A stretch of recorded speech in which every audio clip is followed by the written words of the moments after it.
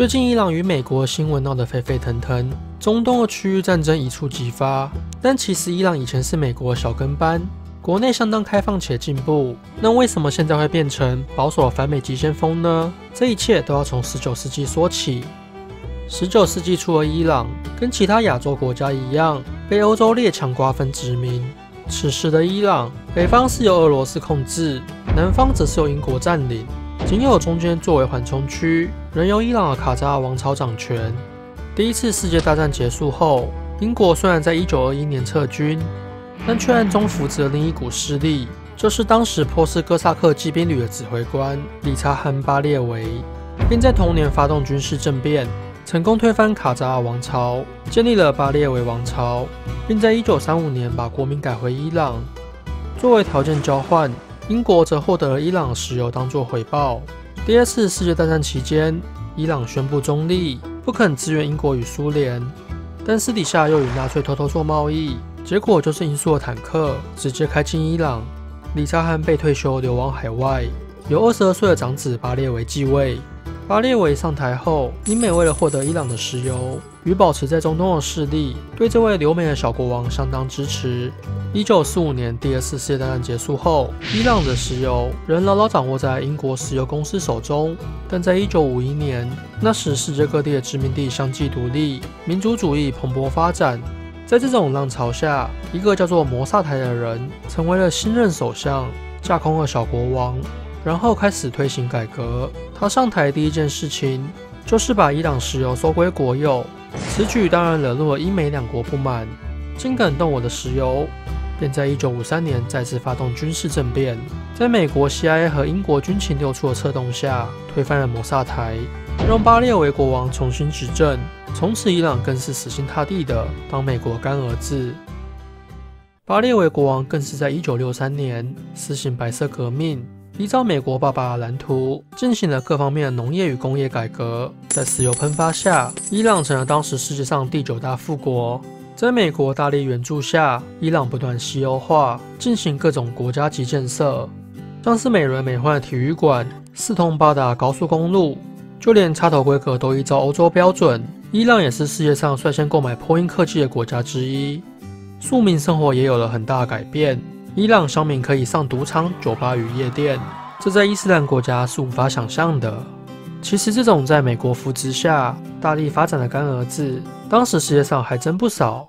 像是台湾的蒋介石、韩国朴正熙、智利的皮诺切克，都是美国爸爸支持下的独裁政权。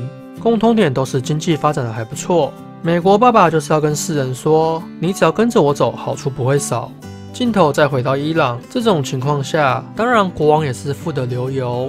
海归派的小国王巴列维本来就是花花公子，现在花起钱来更是不手软。他热衷于收集超跑、飞机和艺术品，他是那时全世界最奢侈的人之一。现在你看到什么杜拜王子炫富，对巴列维来说都是毛毛雨而已啦。另一方面，在一九七一年，巴列维还有一个 idea，就是庆祝波斯帝国两千五百年的大型国际 party。希望借以传达，我们是波斯人才不是阿拉伯人呢。顺便削弱伊斯兰教的影子。更重要的是，还可以向世人炫富，看看我们国家多么先进。这场空前盛大的 party 规划了十年，邀请了世界上五十多个国家的元首，大约花费了现金的五亿五千万美金，做足了十足的面子。虽然伊朗的经济不断在进步，但经济成长只是冷冰冰的数字。财富大多流向富人手中，贫富差距反而越来越大，导致人民的不满日益升高。现在我们在网络上看到七零年代先进开明的伊朗，其实都是上流阶级，普通的工人和农民仍生活在贫困之中，更不要说拍照了。而这时站出来批判国家的人，就是伊斯兰教宗教领袖赫梅尼。结果不久就被政府驱逐出境，赫梅尼流亡法国。赫梅尼虽然身在法国，却时时刻刻关心着国内局势。终于在一九七九年爆发一场反巴列维的革命，这就是伊朗伊斯兰革命。民心向背下，革命之火迅速席卷全国，群众们上街抗议，高呼打倒国王，建立伊斯兰国家。不久，巴列维政权崩溃，国王出逃。在外流亡了十五年的赫梅尼再度回到德黑兰，受到了数百万民众的欢迎，成为了伊朗的最高领袖。群众们举着何梅尼的海报欢呼，每个人都渴望他能带领伊朗走向美好。身为宗教领袖的何梅尼曾说过，自己对世俗的权利不感兴趣，也不想当什么国王。但是他看到排山倒海的群众如此支持自己，内心也不由得热血沸腾起来。想起了那句话：“莫忘世上苦人多。”说过不喜欢权力的他，最后被动成为了独裁者，支持伊朗变成了一个政教合一的伊斯兰教义国家。新政府上台后，也急于增加自己的区域影响力，向外输出什叶派革命，先是扶植了叙利亚的阿萨德政权，在暗中资助黎巴嫩的真主党、也门的胡塞武装组织等，致力打造连接伊朗、伊拉克、叙利亚。与黎巴嫩的什叶派之湖，这完全是在挑战美国中东秩序，也代表伊朗与美国彻底决裂，成了中东地区乃至全世界少数敢反美的国家。那伊朗是何德何能？为什么能坚定反美这么多年？要知道，隔壁邻居伊拉克当年可是直接被美国秒杀啊！下一期我们会再聊聊诡谲的中东局势，为什么伊朗敢反美？一样是伊斯兰教，伊朗为什么在中东是个边缘人？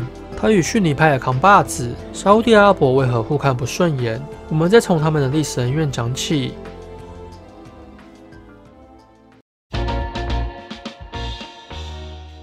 伊朗是伊斯兰教什叶派国家，与阿拉伯世界的逊尼派不同，这两者教义有很大的差别。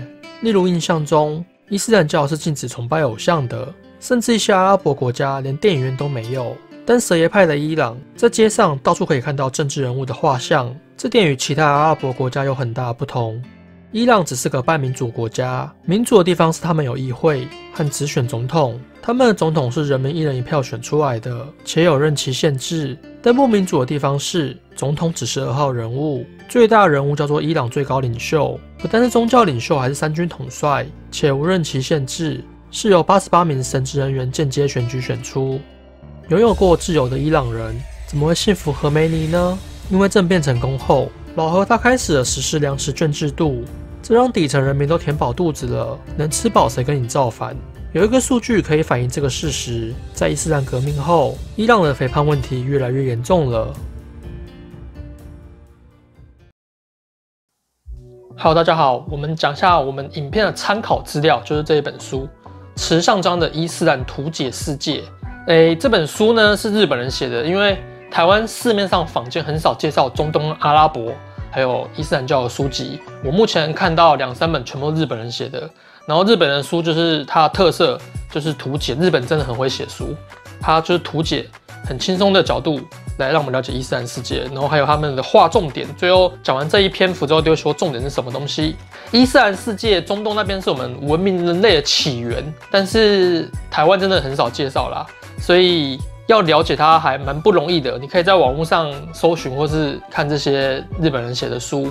而这本书介绍什么呢？就是非常简单的让你了解伊斯兰世界，像穆斯林吃什么啊？为什么伊朗跟阿拉伯人有仇啊？那以色列跟伊朗还有阿拉伯关系是什么啊？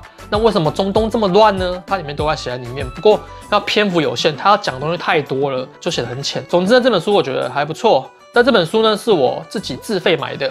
出版社没有赞助，所以我就没办法送给大家。不过下部影片呢，我们就会来介绍这一本书，我们到时候就会送给大家。然后这本书到底写什么呢？我们就下礼拜再来介绍。还有有人反映说我们的频道很久没有吃东西了，所以等一下我们要进一段吃东西的影片。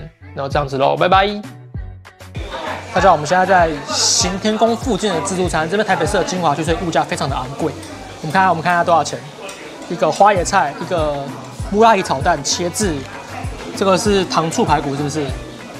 我的竹笋、花椰菜、茄子，还有一些三层肉，非常的肥。这样多少钱？你知道吗？还有一碗汤，加起来是台币两百三十元，还蛮贵的吧？其实还好啦，因为以前我在东区上班，差不多这个价钱。